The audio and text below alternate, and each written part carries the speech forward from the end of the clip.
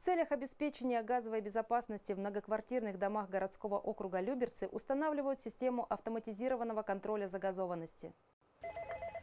День добрый. Компания Юникон. Идем устанавливать газоанализатор. К установке автоматических сигнализаторов утечки газа в Люберцах приступили весной. Приборы уже подключили более чем в 1100 муниципальных квартирах округа. А Долго на- устанавливаете его? Данный прибор устанавливается легко и быстро в течение от полутора до пяти минут. Газовщики на месте составляют договор, устанавливают прибор, подключают его к розетке и рассказывают жильцам, как он работает.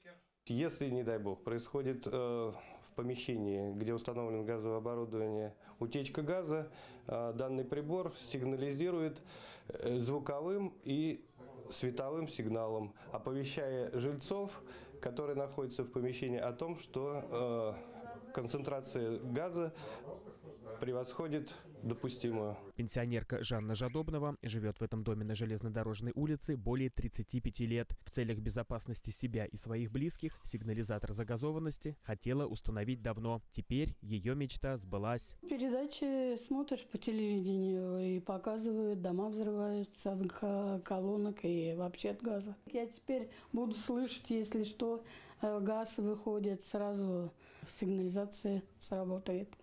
Можно вызывать газовщиков. В случае утечки газа необходимо позвонить в службу 112 и выполнить несколько простых действий. Абонент должен перекрыть газ, обеспечить э, вентиляцию в помещении, не пользоваться газовыми приборами и ожидать э, сотрудников в проветриваемом помещении безопасном, пока до устранения проблемы. Монтаж оборудования в муниципальных квартирах осуществляют в рамках исполнения поручения губернатора Московской области Андрея Воробьева. Администрация провела конкурс. Компания Юникон э, выиграла данный конкурс. И сегодня компания Юникон осуществляет установку совершенно на безвозмездной основе за счет муниципальных средств в муниципальные квартиры системы автомати- автоматизированного контроля загазованности. По 1100 адресам работы уже выполнены. Всего до конца года сигнализаторы загазованности установят более чем в 4450 квартирах округа. Это составит 60% от общего числа квартир муниципального жилого фонда.